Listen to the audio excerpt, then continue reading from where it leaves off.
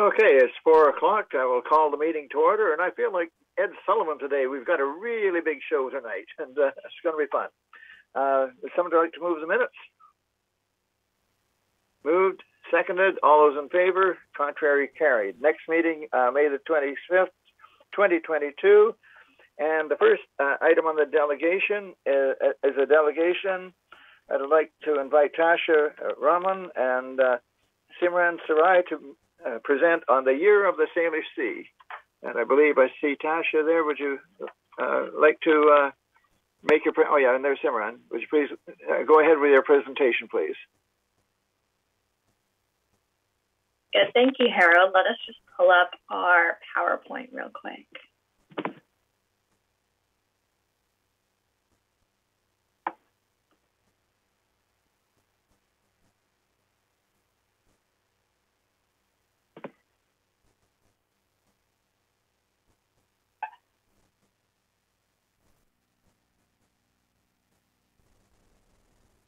Hi everyone. My name is Simran Sarai, and I'm going to be presenting with my co-lead Tasha Romain today. We are the co-leads of the year, the Salish Sea Initiative, and it's so nice to meet you all. Um, and then we're just going to tell you a little bit about what the year of the Salish is and what we're hoping to hear from you today. Before we begin, we just want to respectfully acknowledge that we're calling in from the unceded and traditional territories of the Musqueam, Squamish, and Tsleil-Waututh nations. First Nations have been warning us of the harmful impacts that extractive industry and continuous expansion have and will continue to have on our fragile ecosystems. Indigenous communities have been stewarding the lands and waters since time immemorial and continue to carry out incredible stewardship work in and around the Salish Sea. We're continually learning what it means to live on unceded lands and encourage everyone to keep this at the forefront of our work. So in this presentation, we'll be going over what the Year of the Salish Sea is and why the City of Richmond should proclaim June 8, 2022 to June 7, 2023 the Year of the Salish Sea. So the Year of the Salish Sea initiative is a movement that emerged out of the SFU semester by the Salish Sea cohort in fall 2021. This was a 13-week-long interdisciplinary course made up of 12 students from UBC and SFU, and it was hosted by Simon Fraser University's Semester and Dialogue program. Over the course of our semester, we spoke with over 50 experts on the Salish Sea, from biologists, indigenous elders, government officials, and NGO leaders. Um, and we learned that one of the biggest, some of the biggest problems that we're facing our oceans are so complex and interdisciplinary: ocean acidification, ocean warming, pollution, um, so many more. So, in response to the state of our ocean, the ecosystem, the extreme weather conditions we face, um, and the fragmented governance of the ocean ecosystem, we came up with the year of the Salish Sea as one way to bring together the work already being done to address these issues. The year of the Salish Sea is going to be running from June 8, 2022 to June 7, 2023. It aims to bring together local First Nations, municipalities, organizations, and individuals in the Salish Sea ecosystem region to strengthen existing efforts working towards a healthy Salish Sea through public engagement and the spreading of stewardship and educational opportunities. So the movement asked local governments to declare the year of the Salish Sea in the region to primarily generate awareness and momentum of ocean stewardship initiatives in their communities. It's also aiming to amplify stewardship and conservation efforts and open opportunities for dialogue and collaboration between the stakeholders that are already doing such incredible work on the Salish Sea ecosystem region. Overall, our goals are to encourage collaboration, coordination of the ongoing stewardship efforts, and to generate public awareness and engagement by highlighting any events and other opportunities for engagement, such as conferences and resources. Finally, we really hope that this is a chance to open up windows to the public and elected officials for meaningful policy changes in regards to the management of our oceans and watersheds at the municipal, provincial, and federal levels. The Year of the Salish Sea is also a really cool initiative because it's aligning with the UN Ocean Decade and the UN Decade on Ecological Restoration and it's also going to be beginning. It's also going to be beginning on World Oceans Day this year, which is really exciting. I'm now going to pass it off to Tasha, who's going to talk a little bit more about the year of the Salish Sea in Richmond. Thank you so much, Sim. Um, hi, everyone. My name is Tasha, and I'm the co-lead for the Year of the Salish Sea. And I'm just going to be finishing the presentation. So the Year of the Salish Sea has already picked up in the bioregion. Currently, three local governing bodies have passed a Year of the Salish Sea motion declaring June 8, 2022 to June 7, 2023 as the Year of the Salish Sea. Um, so these are the City of Vancouver, the Town of Gibsons, and the Islands Trust Council. Now is a great time to join this action and to continue to build and join the momentum. Um, so in the picture on the slide, you can see an excerpt from the City of Vancouver's Year of the Salish Sea motion. We've also sent in a copy of the draft motion with our um, presentation materials, so you should all be able to access the full draft. If not, um, we'd be happy to send it to you. Next slide, please. So now I'm going to go over why we're recommending that the Year of the Salish Sea be proclaimed in Richmond. Um, so as previously mentioned, the proclamation will help the City of Richmond join the momentum that is already picking up in the City of Vancouver and the Town of Gibsons and the Islands Trust Council to create a stronger and wider reach for Salish Sea awareness.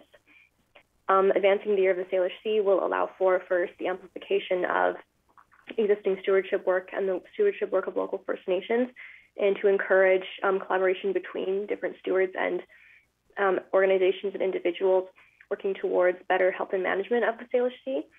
It will also increase public engagement and awareness of the urgency behind protecting this ecosystem and call on members of the public to learn more about it, to find out how they can help, um, to position themselves in all of the work that's already going on, um, and to shift towards living a more ocean centered way of life through dialogue and art and storytelling and ecological education. Um, engaging the public in Richmond could look like highlighting some of the many events um, like Burkeville Days and the Richmond Maritime Festival and the Steveston Salmon Festival. Um, and of course, we are also hoping that the Year of the Salish Sea's an opportunity to open windows for effective and meaningful policy change in ocean governance that will support existing ocean centered work and improve the health and management of the Salish Sea for generations to come. Of course, there's already so much work being done to protect the Salish Sea and its watersheds here in Richmond. Um, so this could all be given support through the year of the Salish Sea being officially proclaimed. Um, work like the proposed estuarium in Garry Point and getting a coastal zone act or getting FREMP back. And we also know about the recent work being done regarding opening up the dike to allow salmon fry and um, spawning salmon into Terra Nova. So the year of the Salish Sea could really build on all of this activity and open windows for more of this work to be advanced in collaboration with local organizations and stakeholders. And these are some of the reasons we think putting the year of the Salish Sea forward in the city of Richmond would benefit the work of the committee, as well as ongoing land and sea stewardship work all over the Salish Sea region.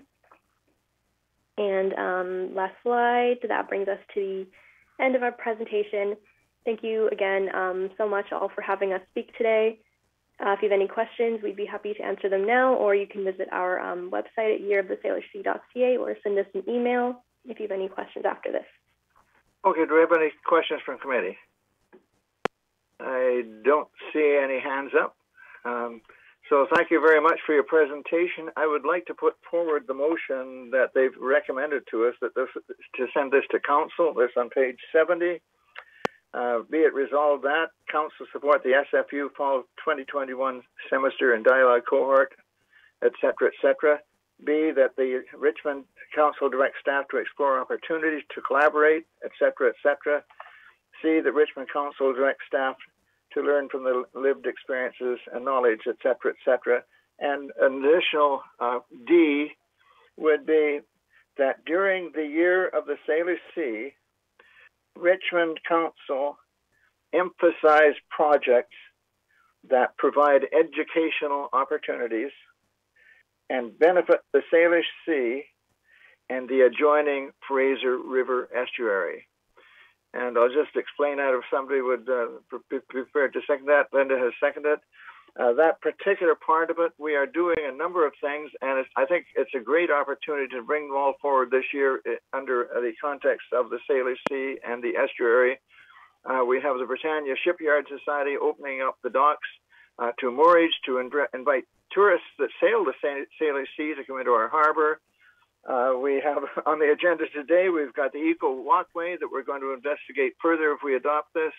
Uh, we've got the Phoenix uh, building that we're looking at, and uh, the list goes on and on. Um, the the um, at the estuarium, the Terra Nova Slough, Scotch Pond, we've got problem things like LNG at Tilbury and problems like the, the, the loss of FREMP. There's going to be issues this year where people will want to bring controls back to the estuary and, and bring FREMP back. We've got Iona Island where the sewage plant is going ahead finally. And of course, the breaks in the jetty allowing the salmon through. And then we've got our festivals that they mentioned, the Salmon Festival, Burkeville Days, and the Maritime Festival. So we have a lot of of uh, of projects we're working on and a number of festivals we're working on, and I think we should make this a, a big year for the Salish Sea. Okay, Linda was first. Uh, thank you, Mr. Chair, and thank you to the delegation for the presentation today. I really appreciate the work that you went to, and obviously you've done your homework on Richmond. And uh, yes, I think this fits in quite nicely with some of the work that we're doing already and the opportunity to further that work. A question through you, Mr. Chair, to the delegation. Have you presented to any of the local First Nations in the region? Because I think it would be important to have, you know, them uh, involved as well. Answer this if that's okay. So we've communicated with Tsleil-Waututh, Musqueam, and Squamish First Nations because originally we passed this in the city of Vancouver, and those were the host nations. Um, and we haven't been able to present to Chief and Council. We did communicate directly with their environmental stewardship coordinators to try and go through them first and say, hey, like this is the environmental stewardship initiative that we're kind of working on, um, and that we want to use to help amplify your work that you've already been doing, and that any upcoming work you have, and how can we support your work through the year of the Salish Sea? They're all at full capacity right now, so meeting with Chief and Council isn't something that we can do at this time just because they are at full capacity.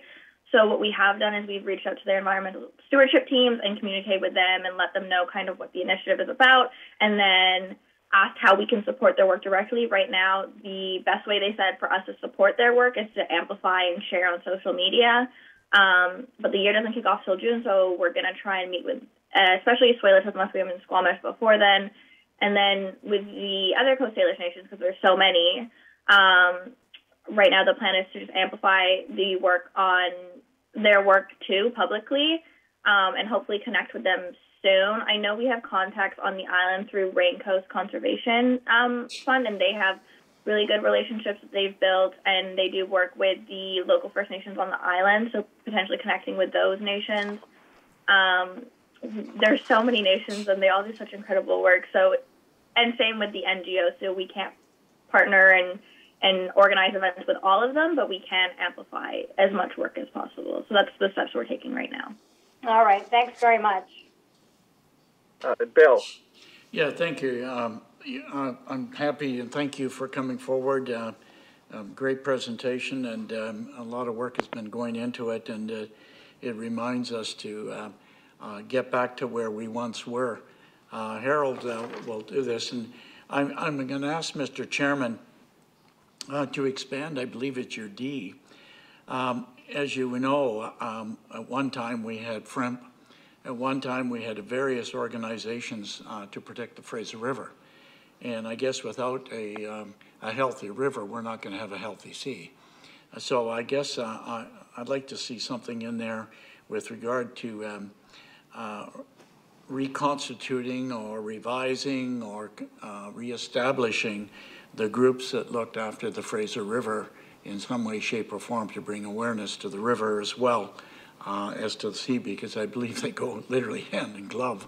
Um, uh, and I, I, think that uh, there may be an opportunity, um, um, as you were alluding to earlier, with a number of issues uh, that uh, we could uh, put them uh, forward as well, and I think they would fit in quite nicely. And I think uh, the work that's already been done by this group just would add um, uh, to that, uh, not only the sea, but where the sea gets its its source.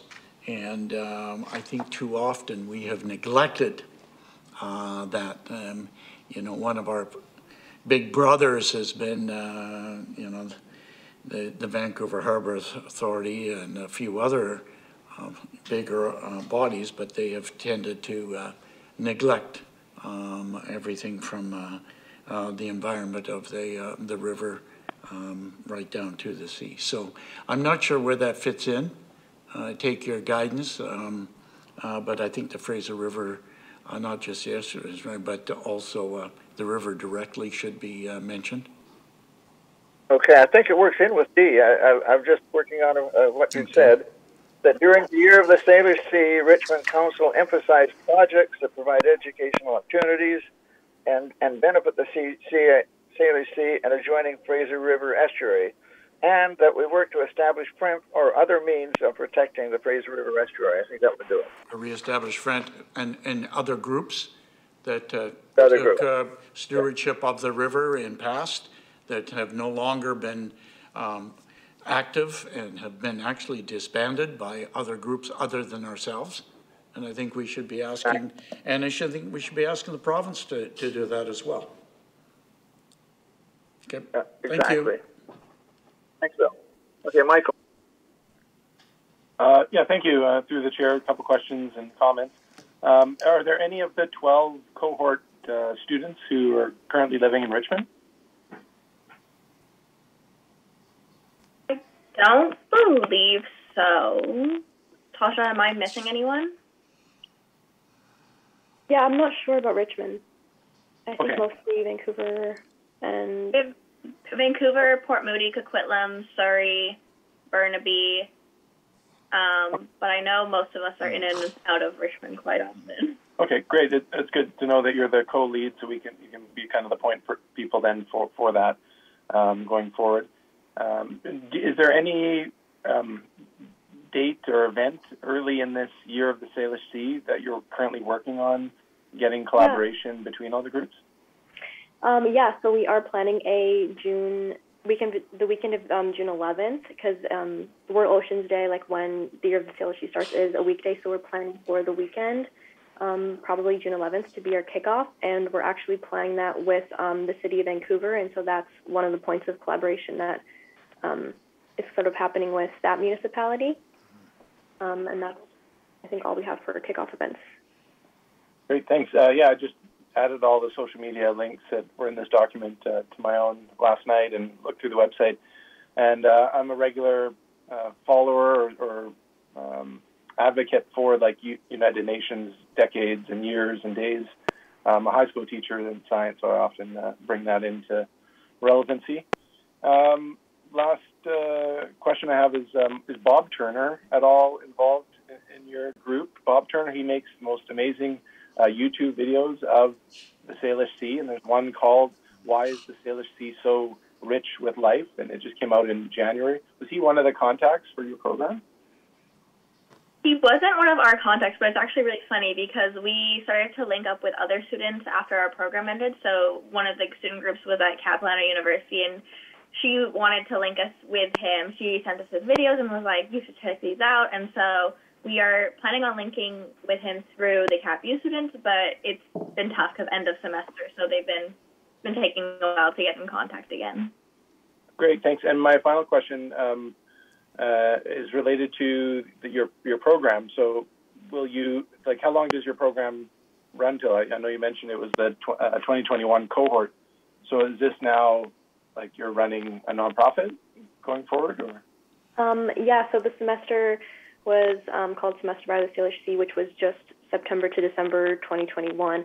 And so the cohort of tw- the 12 of us, um, we've completed that program. And so it's me, Simran, and we have a couple um, cohort members that are helping out on like a bit of a more part-time volunteer basis. But it's it's me, Simran, and then our third co-lead, um, Emma, who have been sort of taking this on beyond the semester. So it's not uh, part of SFU's program anymore.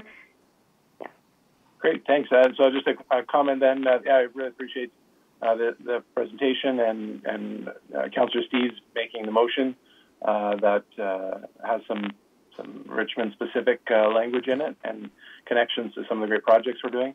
And I'll, I'll just say one of the most magical things about living in Richmond is when I do a little a boat trip all the way around Richmond in my nine foot boat, and I stop and just float in, in the Salish Sea because you have to go out, you have to go out so far past the to get out past the the sturgeon banks. Otherwise, you run aground all the time.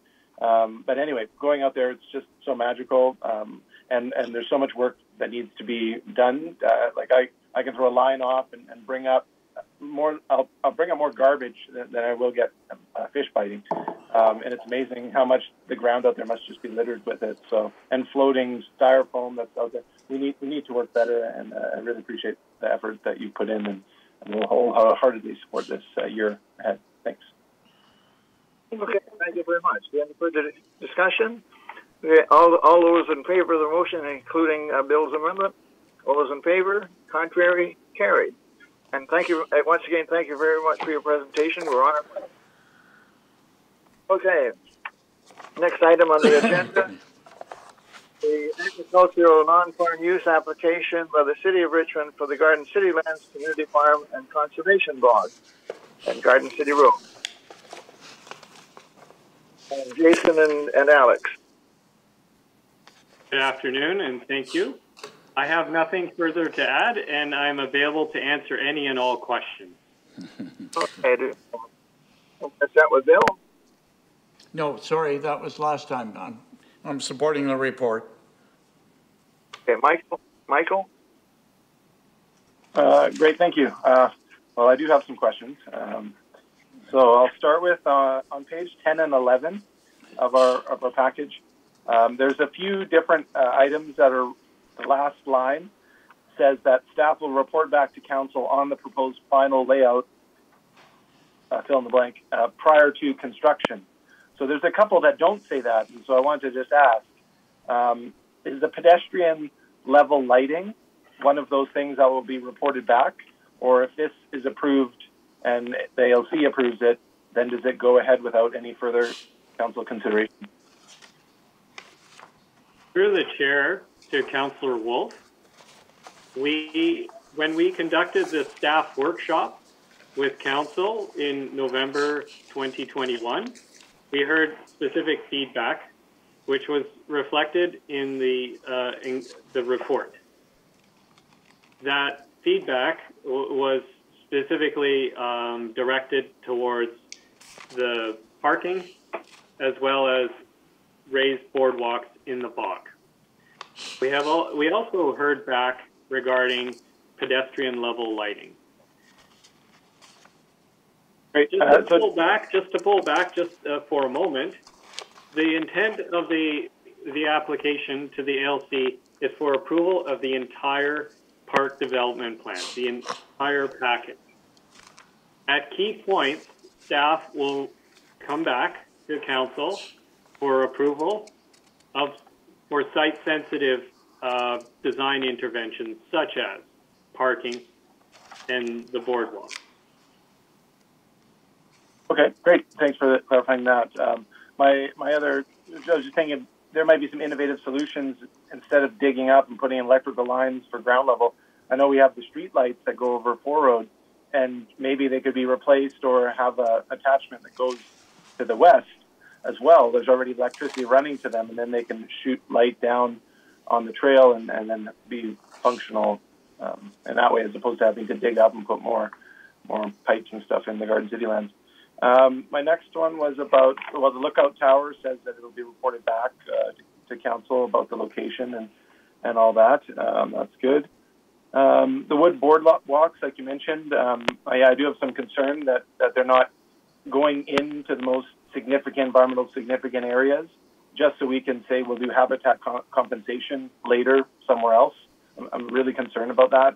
Um, that uh, there's so few areas that are really exceptional, and we're not doing anything to actually, well, we're doing a few things to restore them and enhance them. But I, I, I was hoping that, that there would be uh, more dedication in in this um, package, rather than signage and site ecology and interpretation in the center, um, but like the actual ways we're going to be bringing some of the the health of the peat soils and sphagnum moss back, uh, which uh, I didn't see it in here. Um, the next one I wanted to speak on is uh, item uh, or on, on, our page 12. Uh, it relates to the bridge structure. Um, so, uh, can you just? I don't remember hearing about that before. So, is that just for improved access to the Kwantlen site? Through the chair to Councillor Wolfe, that is indeed the case. Um, we are on the park development plan. It's shown that there's a canal a linear canal along the south edge of the KPU farm fields. And in order to maintain access uh, throughout the site with a farm, uh, with a farm road, a bridge uh, or culvert would be required to um, carry that road across the canal. Okay, uh, thank you. Uh, next uh, question kind of relates to, well, on, on page 12, um, I'll, I'll state it now. I'm, I'm not, um, uh, I, I'm not happy with uh, put at this time putting it, it in for um, because it seems like it'll be a done done deal if the ALC approves this to put in the, the parallel lay-by parking stalls along number four road. Um, I, I, I support the parking in the other two sites, but not along four road. Um, you can see there's a whole bunch of potted plants that are about to go in, all these great native species, and then to cover some of that space with for parking, and also the traffic stalling to go in and then come out onto this busy road. Uh, I, I, I, just I, I can't support um, putting that parking stall network on four road. Um, I'm also very concerned with the, the two washroom facilities. Uh, I'm all for public washrooms. I think we need more of them, um, but I, I, don't think we need to put them. Um, or the second one on the part near May Drive and Alderbridge Way. I think we can have the main washroom that's centrally located at the center or, or around there. And then when we need more facilities for events, we bring in uh, the mobile porta potties. And if we need a, another uh, washroom facility, I think we put it across Alderbridge Way so we don't, again, take up more of limited garden city lands with pipes and drainage and have to consider sewage and, and all this other stuff. So those two parts of, I have concern over. Um, the uh, just a couple more here, if I may, through the chair.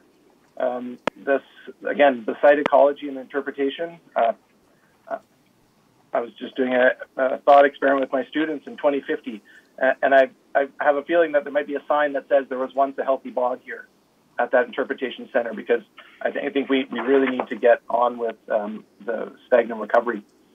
Um, and then my last question, uh, if I may, the chair is um, it, it, mentions um, Mr. McTavish or equally qualified qual, um, qualified environmental professional.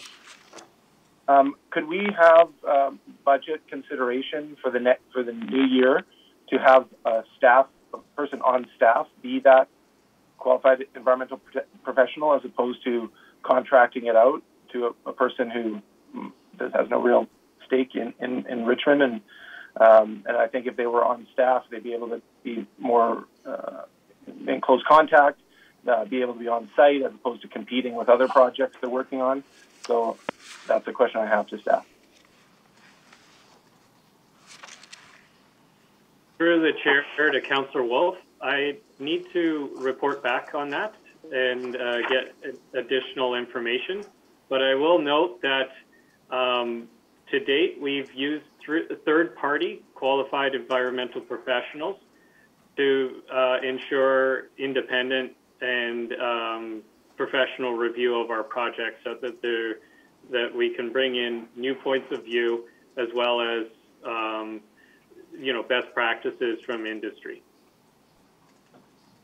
No, I think thank you. I look forward to uh, any further information on on budgeting considerations because the last few years sometimes there's and if you have budget uh, approval for these extra positions, I, would like um, that to be a, a, consideration in the next round. Um, but anyhow, I'll let others speak and see where this goes. Thanks. Chak. Okay, I have uh, basically two questions. The first one is about the parking lots. Yeah, I understand that uh, we need to have space for parking. However, you know how much space are we talking about? So, in terms of the number of cars, are we talking about hundreds?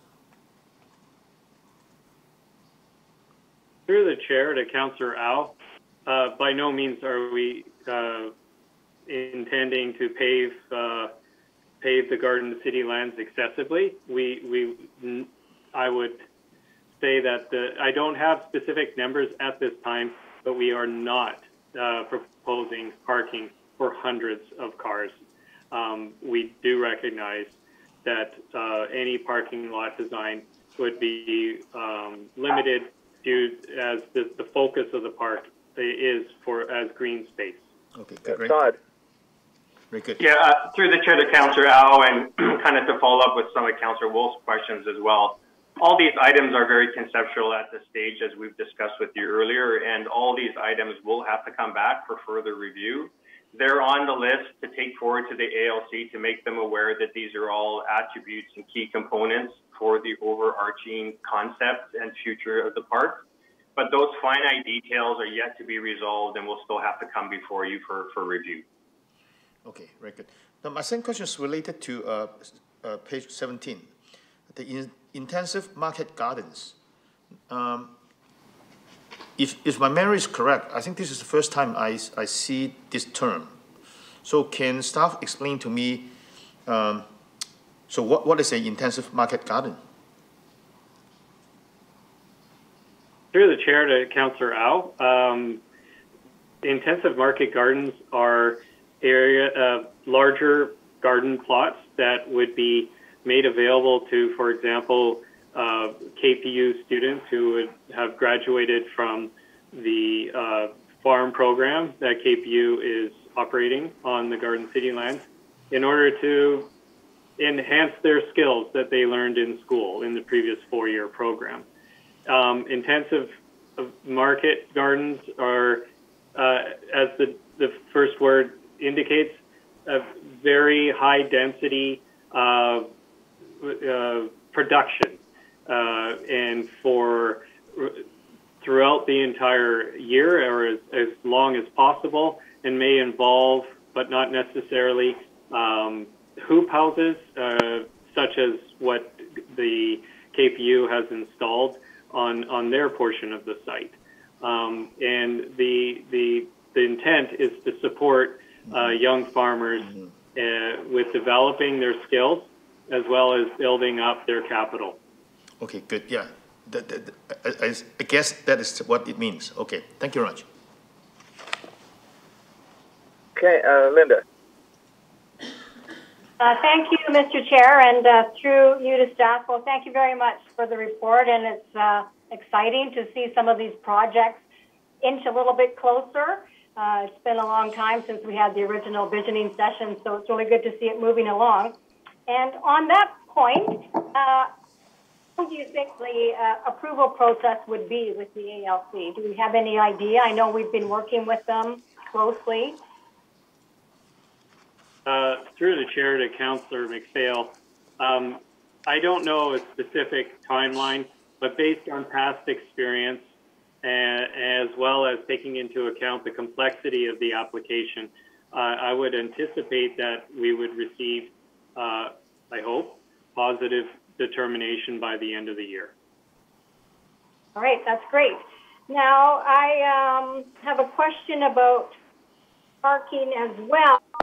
Uh, since the article about this has been in the newspaper, I've had a couple of people contact me with concerns about parking on number four road. I know uh, in the report it talks about 64 spots for the barn structure. How many spots are we looking at on number four road? I know you said it's conceptual, but you know people are concerned because number four road is a very busy road. Um, through the chair to Councillor MacPhail, um, I'd have to get back to you on the specific number, but I believe there are five uh, parking pockets, and um, the the you know we would certainly review the design with transportation and, and as Todd had indicated earlier, um, when we come to that point in the project, we will come with the conceptual design to council um, with that is for your approval before we proceed with any further design and construction. And how many accessible parking spots are we thinking of? Are you working with the uh, Richmond Center for Disability on that? Yeah, through the chair to Councillor MacPhail, um, we will meet or exceed all requirements for universal access parking spots.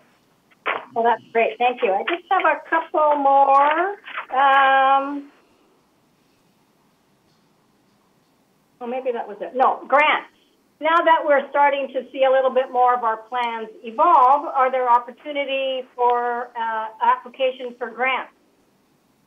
Through the chair to Councillor MacPhail, um, certainly, the city staff are always uh, you know, taking uh, advantage of and looking at opportunities for grant uh, applications. Uh, as you may recall, we recently, for example, secured a grant from the Federation of Canadian Municipalities to uh, do conduct the soil study, and and uh, similar grants of that vein and nature uh, would be pursued by staff as opportunities arise. That's fantastic. Thanks very much. Okay, I've got a, a few comments and questions myself. I just want to say I agree with uh, all the comments that Michael made at the beginning, but I'll stress a couple. Uh, I don't like parking at all. Uh, I think this would be nice to have a park in the middle of the center where just people walked there, and if you wanted to get there, you had to take a bus. But uh, uh, maybe we're not there yet. But uh, it seems to be we spend a lot of time destroying land for those parking lots. Uh, that said, uh, I would like staff to investigate the uh, the Walmart uh, uh, uh, parking lot. My recollection is that that parking lot was built to serve a park that was across the street that we no longer have. We, we, we took the park, the, the land that was going to be a park on the uh, north side of Alderbridge Way, and we used that money to buy the Garden City lands. But my recollection is that the parking structure there was supposed to service that park. And if that's the case, then why are we building a park on our side of the street? We'd better to, it'd be better to simply put a, a, a walkway, a, an overpass, and keep uh, and have people park there. And that said, as well as I'm a bit concerned about putting a washroom there as well. As, as why would we put a washroom there for the for the cars? It should be at the at the center of the eco center, and and not a washroom in the parking lot. Uh, so those are my uh, concerns about the parking. The other question I have is why not uh, simply have parking along number uh, four road on weekends only, so it doesn't create that much of a problem. Uh, I think that the the activities we we would have all our activities on weekends um, farmers markets on weekends, and uh, we can use the uh, uh, beside the road for parking at that time and leave the highways free. So those are my comments on parking. The main thing I want to talk about, however, is I raised this the last time we issued, and I know it's not part of the report uh, of the study, but it should be, is why are we having two eco centers within a kilometer of each other? And I think we need a, maybe a referral to staff because I made these comments before and it's not in here. Uh, should we maintain the nature park uh, eco center or should we close it down and combine it with this one? I'm considering having double staff. We have staff at the, at the Garden City lands and we have staff um, a, a kilometer away on the nature park. And my preference would be to close the nature park center down, uh, use the uh, nature park buildings for organizations. It is mentioned in here on page 13 that bog conservation groups might use the eco center on the Garden City lands, but we've got an eco center that bog conservation groups can use, and, and one is actually an empty building that is for meetings, uh, and and the other buildings there that they could use for meetings, and put our, all of our staffing in one site. We would put a trail from the Garden City lands to the uh, nature park uh, site, so people could park there and walk, which would give us another parking lot and combine the two sites together. And in addition to that, make application to the Canadian government to sell us the south half of the National Defense lands. So we would actually be able to combine the Garden City lands and the Nature Park lands with uh, together with a piece of land in, in, in, in between. And I think that would that would certainly help. I just really have a problem with having two groups of staff people within within a kilometer of each other doing the same thing. And um, I, I, I, I think we should have a, an eco center here, but I question having two of them. So I think that's my major concern. I don't know if staff want to comment that, on that now or not, but that's certainly a concern that I have. Any comments on it from staff? None yet. Okay. Uh, Councillor, uh, Councillor Steves, certainly I'll just make a brief comment. Um, and yes, we, we have heard you make that comment or similar comments previously and continue to look at it uh, in terms of efficiencies in operations and also serving the public more broadly. And, and again, we're, we're back to this comment that this is a conceptual plan, and, and as we get into operations, the same way, same way we might do when we build a new community center, we think about what the impact is on all the other community centers in the city and, and how we operate them. And we would certainly do that as we move closer to implementation of this plan. Um, and uh, yes, you know, I think at different times creating that connection between this site and the nature park ha- has been talked about and is a, a, great opportunity for the city in the future. Okay, thank you. And I have one, uh, one or two further comments. Uh, Michael mentioned the there's nothing in this plan regarding the, the bog and bog rehabilitation, and that's and I'm concerned about that. I think we need another report that on how we're going to do it. Also, I'm concerned about maintaining the water table. I've seen seen no uh, results of how we're going to keep the water table up in the bog. It should be 14 inches from the surface almost all year round. Well, the bog used to have water at the surface in the winter and then down a foot in the summer. And, uh, and to maintain a sphagnum bog, you've got to have a high water table. And finally, uh, uh, uh Michael asked a question about uh, consultants, and this has bugged me for years in all departments. It's my opinion we should be using our, our, our, our own staff as our consultants. And I just want to point out that Alex is a, is a, is a qualified professional to, to make these recommendations, and he's been doing a great job so far.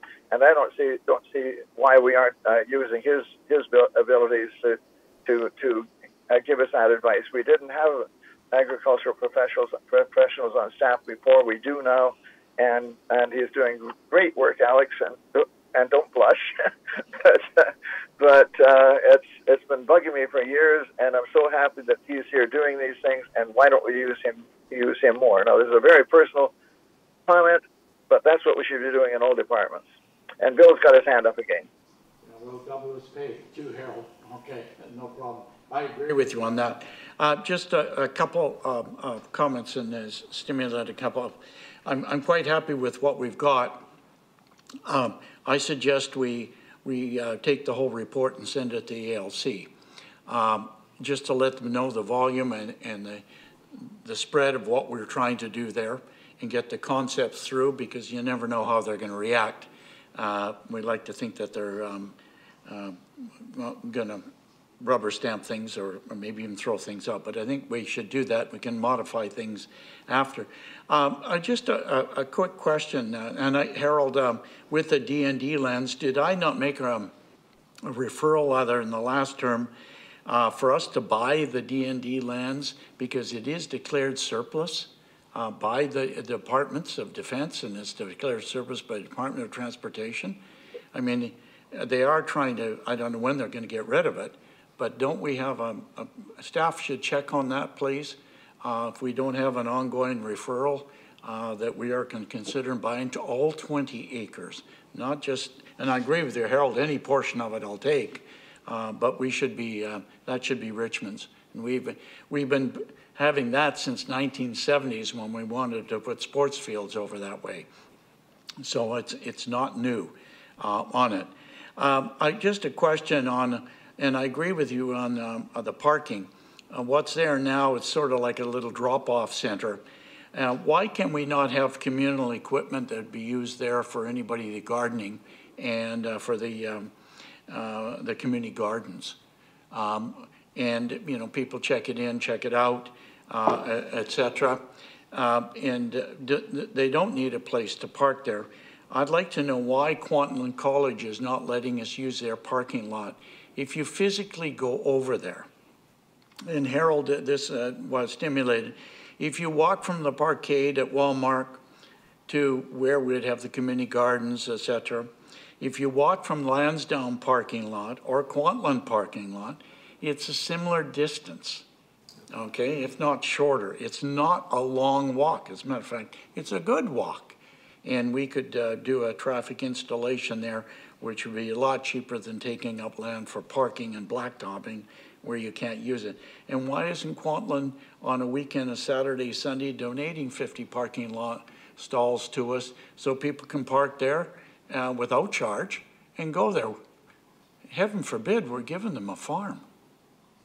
Did we not, you know, hello, in brotherly love today in 2022, uh, we share, okay? We give you educational opportunities for your students, let us use uh, your parking um, um, on it. It could be for the community garden people.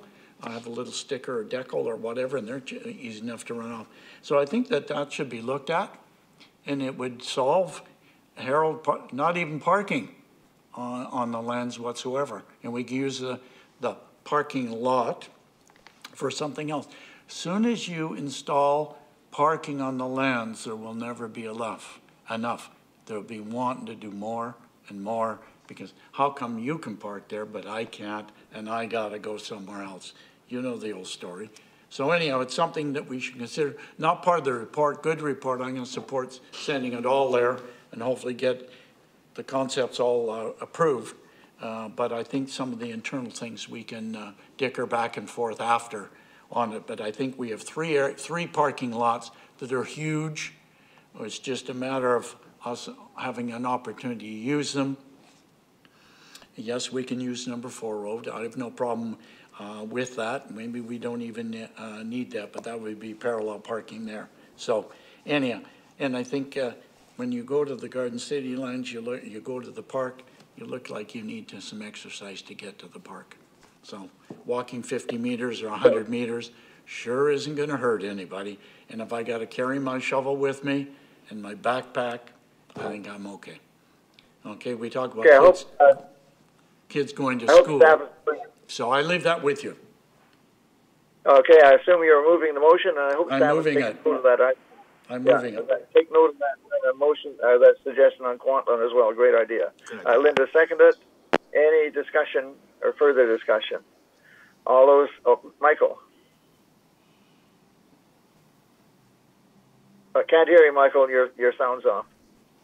Uh, sorry, um, I, I'm just still hesitating on approving it at this stage with the, the language of the parking and the secondary washroom. Um, could, could, staff just comment? Would we not have a better chance of getting this approved from the ALC if we had less parking and less washroom infrastructure and more space for agriculture? It, doesn't it? Isn't the trade-off more likely to get approved? Through the chair to Councillor Wolfe, um, I think at this time we would like to be consistent with the messaging that we've had with the ALC uh, over the years, and to have the entire park development plan approved by the uh, by the Agricultural Land Commission, thus giving the city the option that we have the full project mm-hmm. approved, and then at key points we come back to council uh, where site sensitive design uh, decisions need to be made. We, we, we, we have a discussion and then we receive your approval and, uh, and direction on where to take that design. Staff have heard the, uh, all the comments today and have t- duly noted the, the, the issues and concerns with regards to parking, lighting, locating uh, of, of washrooms on the site and other uh, concerns. Through the chair, to, oh, sorry, through, oh. through the chair, Councillor Wolfe, if I can also add, um, you know, we have been uh, in front of the ALC, I think, with half a dozen um, applications, successful applications to date. Uh, they are aware of the, the longer scope of the project, and through consultation with them, you know, it was uh, a joint uh, endeavor to bring forward this overarching concept for them. So they're aware of, of where this is going, and through those discussions, they're also the ones that are recommending that we come forward with the overarching plan. And I assume okay. If, if, they have the, have the same concerns that some of us have about the market, they'll probably tell you so. So mm-hmm. see what happens. Okay. okay. Yeah. Uh, just one final comment then is like we heard from um, Councillor Steves, MacPhail, McNulty, and myself, all members of this committee, and I, I just have a concern that in the, uh, at a future date when the four of us who see the, the issue or other solutions of parking aren't on this committee, that it might just be go ahead because hey, the ALC allowed us to do it, and it was in our plan then, so let's do it. Um, so I, I just feel uh, that's why I'm so hesitant here and maybe a little bit abrupt with uh, comments on this item, but. Uh, uh, I'll support it with expertise uh, around the table, and I'll just have to keep uh, close watch of it. Thanks. That's the idea. Okay, all those in favor? Contrary? Carried. Okay, next item is, and where do I find my agenda? Uh, the Museum and Heritage Services Year in Review. Another great report. Oh, what a day. To the chair, I have nothing further to the report, but we do have a highlight video to show to committee today. show us that, and uh, probably need to show it to council too.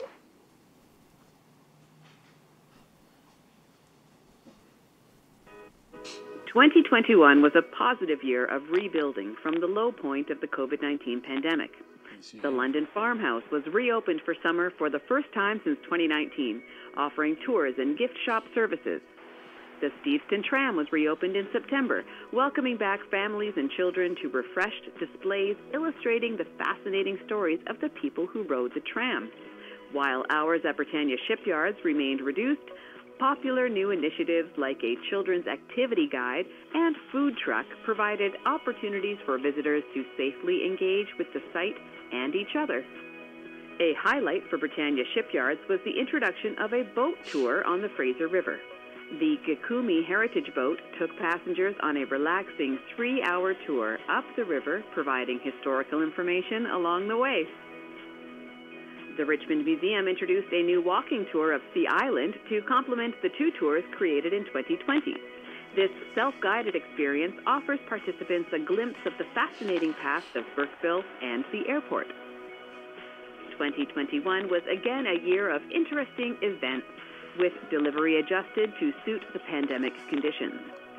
Some events, like the London Heritage Farm Society's plant sale and the Gulf of Georgia Cannery Society's Haunted Sea, looked similar to past years.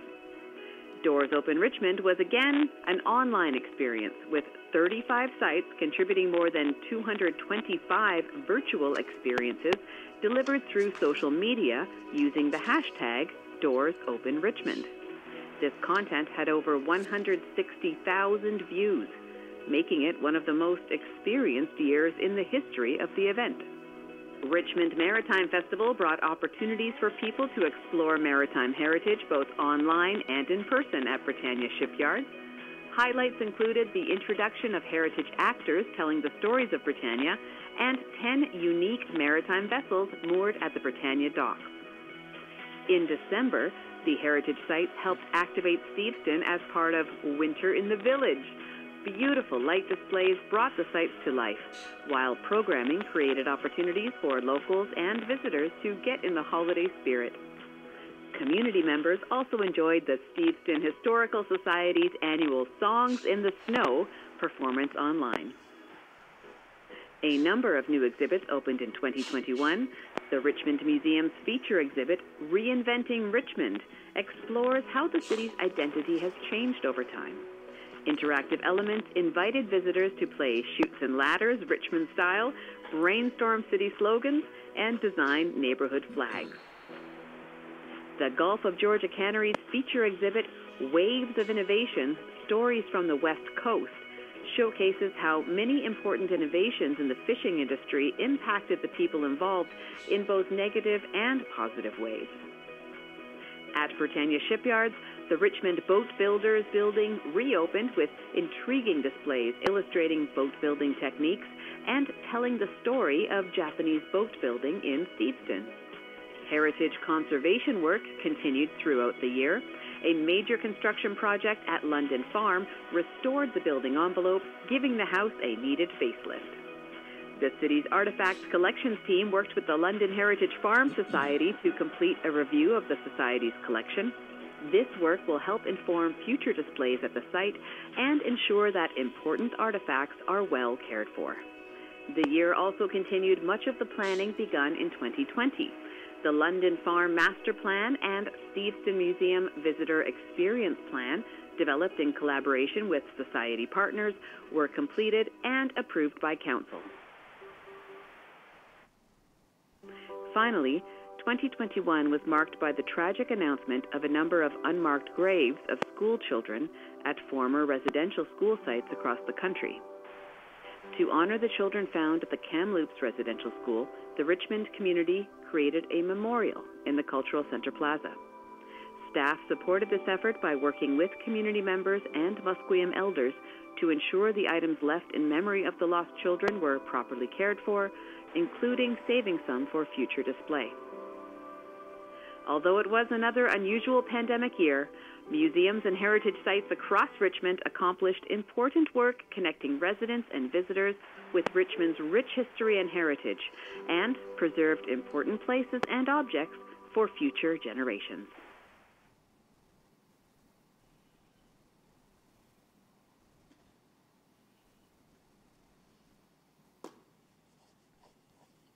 Good job.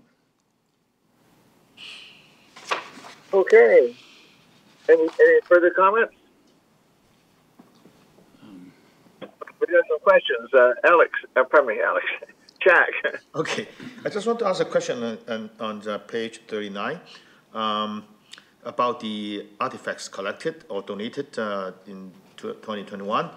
Now, I want to know, uh, do we have a kind of a catalog of the artifacts that we have so that people can make reference to them or, you know, uh, they may be interested in, um, viewing or using them for some uh, display or educational purpose. So do we have a, a catalog of some kind that people can search? Uh, through the chair to Councillor Au, we have an online database. Or we have a database uh, of all of the artifacts that are in the city's collection, which is accessible online and searchable by the public. And we do often have requests for loans from our collection to be used uh, by other museums or community members and exhibits as uh, as is allowed by our collection policy. Good, thank you. Michael. Uh, uh, thank you, uh, through the chair. Just a comment, couple comments uh, to staff, and then a question. Yeah, I really valued the the tour on the Gikumi uh, heritage boat and being able to ch- chat with the captain and see the the whole boat, uh, the whole works of it, uh, and also with the interpreter did such a great job. I saw a photo of her uh, speaking with some some guests on a, on another tour. Um, yeah, it was just fascinating history that I hadn't heard before about some of the South Arm um, sites and, and historical uses. Um, the other one I wanted to comment on was uh, Maritime Festival, which I thought was such a great event. Uh, I went with the whole family, and everyone, including a two-year-old, really enjoyed it. Um, and again, interacting with uh, the people at, at, the docks were great. Um, my question, though, relates to the heritage conservation um, section. It's on our page 39 at the top. Um, it talks about London Farm heritage conservation and the artifact collections that were just mentioned. Um, I'd like to ask specifically about the boats uh, the, that are uh, not in the water anymore, that are around Britannia, uh, the shipyard uh, area, that are on kind of display and in a way on display, um, but also are deteriorating fairly quick. I've heard that the one that's in the plastic wrap is just molding away because the moisture can't get out. Um, where, where, are, where are we at for the heritage conservation of those boats? Uh, through the chair to Councillor Wolfe, um, we, we've got a number of different plans that are underway that relate to the conservation of those boats. Uh, one of the first pieces is, is the Steveston Heritage Interpretive Framework, which Council has seen uh, and is being discussed with community as we speak. Um, that will lead a lot of future work.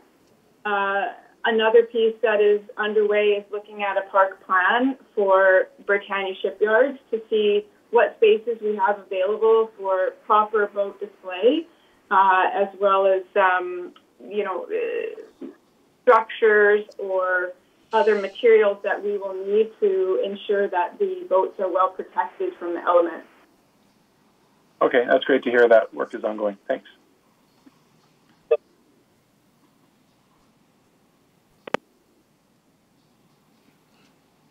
Am I on, Harold? Okay. Yeah, thanks very much for a great report, great video. I, uh, I can't do much to improvement, but I'd like to offer one suggestion for improvement. And it, it uh, I think it's something, I think we do a, an adequate job or even a good job, but I think we can do a better job. Uh, and that is in terms of signage, in interpretation signage. For example, the Steveston Museum and Post Office. If you look from um, the east to uh, the museum, you'd never know it was a museum. There's something indelible in, in terms of glass, can't see it. If I go in the post office, I didn't know there's a museum in the back. And I think we, I don't want overkill, but I think we've got to have effective um, uh, thing. I was sitting um, talking to two uh, uh, Japanese um, uh, Canadians yesterday um, uh, in, in, the uh, in the post office, and you know, they, they came and they say, well, what's this? And they asked about the vault, et cetera, and what's in the back, et cetera, and didn't know that. I, and, and I think anywhere else we have it, I think uh, we need to um, uh, look at our signage. Uh, we want uh, to uh, enhance tourism. We want to uh, be proud of what we've got. And I'm not saying we're doing a bad job, but I'm like us to try to go one step further. And maybe it's color. I don't know. I'm not a I don't have any crayons, uh, whatever. Maybe it's uh, the shape of the sign, maybe whatever. But I leave that to you as experts uh, in all the areas, um, um, uh, uh, putting signs up um, where we have it, whether it be, uh, and then I kind of look at it is what kind of signage is out there when the facility is closed? For example, at the tram. If I come around the tram and it's closed for the day or whatever, uh, and I'm looking, what do I get and what experience do I get when I leave? If I go to the uh, museum or the post office, what do I get when I leave? Do I know that is so that I can come, I want to come back? I guess is what I'm trying to get at. I want to come back and visit if, uh, whatever, and if eventually uh, uh, we have it. It's the same, uh, no disrespect with the London farm. You're driving down the road, it's extremely busy. Uh, you almost get into an accident there because the parking lot is very close and people don't follow the, the 20 K, uh, km um, along. But I, I'll miss the London farm sign, so to speak, um, on it. Um, if I'm walking, I'll pick it up possibly, but um, so that I'll go and park, etc. As I say, it's not a criticism. It's can we do better? And I just leave that in your bellywick and under advisement, but I'd like it recorded that can we do better? Thank you. Through the chair to Councillor McNulty, we, we actually have um, funding and plans in place for all three of the sites that you mentioned. Uh, I believe a memo was circulated about the Steveston tram to mayor and council. There is a sign on the way. It's been delayed uh, because of Good. supply chain issues. Excellent. Uh, we will be working on signage at London Farm as part of the parks redevelopment process that's uh, going to be happening later this year. And as part of the Steveston Museum uh, building improvements, in particular, we're looking at the exterior face of the Japanese Fishermen's Benevolent Society building and, and what can be done to better raise awareness of that facility when uh, that entrance on uh, First Avenue is not open. Good. Well, thank you for that. And if you need more money, just nod.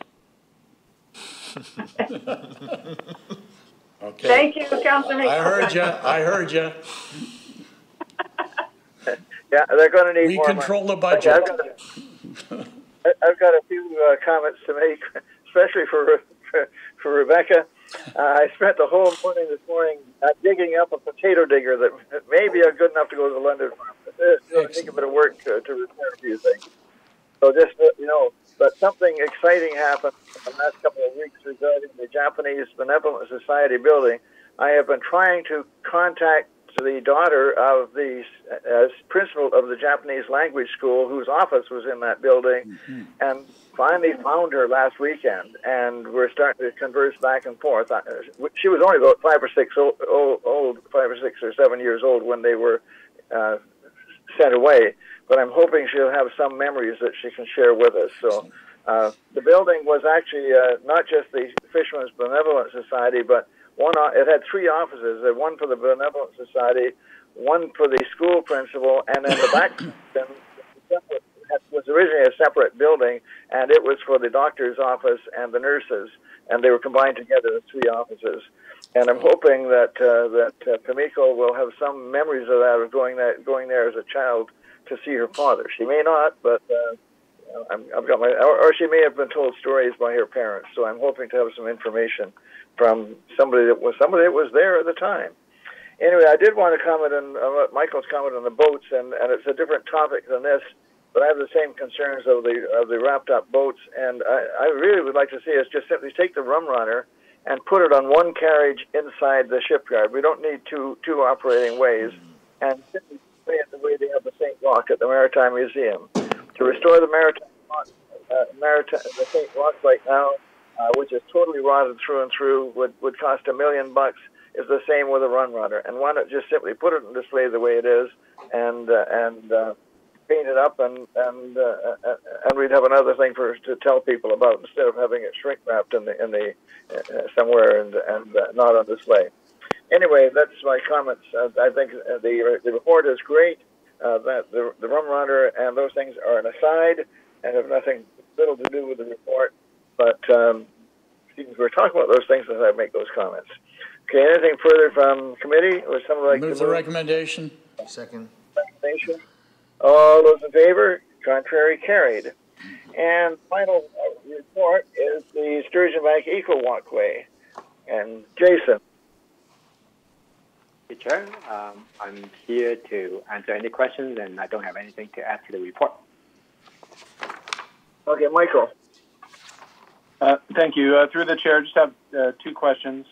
Uh, first one is on our page uh, 53 in the report. Uh, it mentions um, kind of the middle paragraph there, and, and it mentions that any work would require habitat compensation elsewhere if, if it was approved. Um, and so again, just repeat of my earlier comment on habitat compensation. Um, I, I, think we need to ensure that we have a way of doing it well before we make a need to do it. Um, so I, and I just haven't seen that in, in, in, projects yet. I know there's there's work being done and, and there's plans elsewhere, um, but I would like to kind of know uh, at this stage what type of habitat compensation elsewhere would we be considering? Would it be like very nearby, uh, or could we target the boardwalk to be in the areas of least um, um, environmental significance, uh, and then you're not covering up anything that needs to be compensated elsewhere? Um, any comments on, on that? Uh, yes, uh, thank you, uh, through the chair to Councillor Wolfe. Uh, thanks for your question. Um, similar to any project, habitat compensation will be determined at the time of the detailed design. Uh, right now, the the uh, design of the boardwalk is uh, has not commenced yet.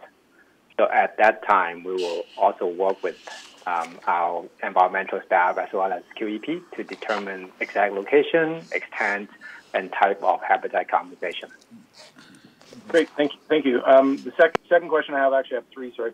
Second question I have is related to the in the report. It talks about the Terra Nova Heritage Precinct Plan, the study, um, and I know that that's not what's on the debate right here. Um, but I also know, like, with um, the like, exposure to the sun and heat waves and stuff, finding shelter, um, like covered areas as well. Um, and then when I think about uh, a similar boardwalk in a similar kind of area, if you go to, if you've been to Reifel Bird Sanctuary in Delta, um, there's a lot of exposed areas, but also there's some covered areas too, where where people can sit and enjoy the site, but also be out of the sun. So is that part of that precinct uh, plan, like looking into covered space utilization? And I also think it would fit into this walkway that there would be a covered component of it. To the chair, to Councillor Wolfe, um, this is exactly why we wanted to um, to incorporate this walk, uh, walkways within the Terra Nova Heritage Precinct Plan um, is because we want to look at all considerations as well as aspects in a holistic sense. Uh, as you've mentioned, there are other examples worldwide, uh, not just in the Delta um, state, uh, in terms of walkways, um, bird sanctuaries, etc. Uh, all those will be looked at in terms of examples and precedents, what we can and cannot do, etc., with the precinct study. I appreciate that. Uh, thanks. And final question is from uh, you could turn to the map on page 59. I just have a couple questions about that map. Um, so in the in the bottom corner, uh, the, there's the legend, um, and for environmental sensitive areas, it, it, it shows that there's no no color or no pattern. So does that mean we haven't layered that in yet? And then same goes for the riparian management area, 15 meter buffer below that. And then my other question about that legend, um, that 2271 River Road, privately owned, who owns that little uh, patch there? through the chair to Councillor Wolfe, um, perhaps I'll answer questions from a reverse order based on memory. Uh, the the red uh, outlined area is privately owned, um, and uh, so far we have not done a land search or title search uh, to identify the owner, uh, even though the information should be available. Um, so that's number one. And second is in terms of the um, environmentally sensitive area as well as the RMA, uh, the I think that's really just a, a, printing problem with the with the PDFs um, or the paper copy that you're in front of you. The environmentally sensitive area uh, should be the light purple area surrounding the shoreline. And then the RMA 15 meter buffer area should be appearing in light blue uh, or slightly darker purple uh, on your print surrounding the, the coastline as well.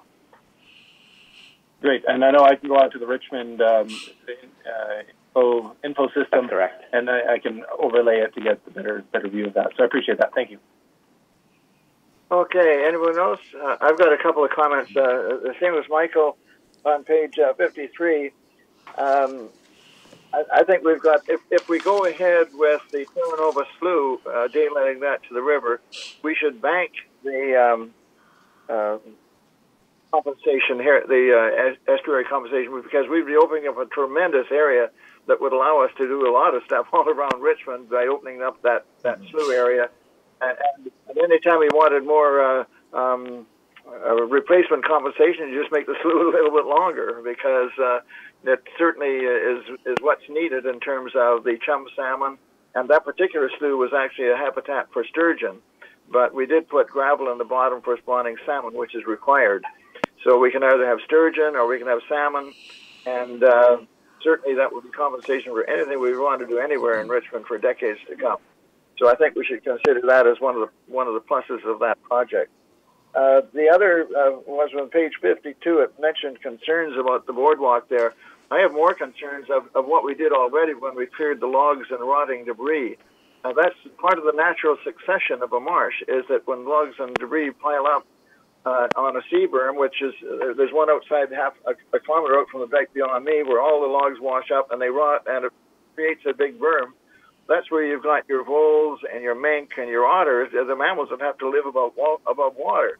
And we just simply bulldozed all that away and said we just want it to be marsh. And and I think we, I'd be concerned we should never make that mistake again. I think we did more damage to that marsh by clearing those logs than that any boardwalk would even a dream of, of, of uh, causing. In fact, the boardwalk might help to build up that kind of uh, debris uh, uh, uh, in, in the corner of the marsh again so that we can recreate that habitat that we took away. So that's my comments on it. I think it's a great report, and I'm really pleased to see it going ahead as part of the, part of the Heritage Precinct study. And uh, I think we're, we're up and away with, uh, with uh, the, the uh, Terra Nova lands in, in terms of developing a really, really great uh, uh, area for uh, the for the for the environment and for public uh, education as well. So, any further comments? Some like recommendation. All those in favor? Contrary? Carried. Okay, managers report. Just two quick ones, Mr. Chair. Uh, Rebecca and Alex. To the chair, uh, this is just to let uh, committee know that there will be a memo coming uh, in the next few days with a call out to councillors to participate in the Port Townsend Wooden Boat Festival. Okay. Alex? I have to make sure I'm not muted. uh, good afternoon again. Uh, Richmond Earth Week programming took place this last week from April 16th to the 24th. The city hosted over 23 programs ranging from beekeeping and horticulture to bird watching and harnessing wind power. Over 465 residents attended Earth Week programs across the city.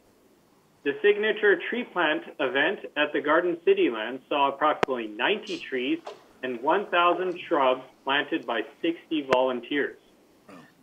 Participants that attended the Richmond Earth Week programs included youth, school groups, new residents, seniors, and tourists.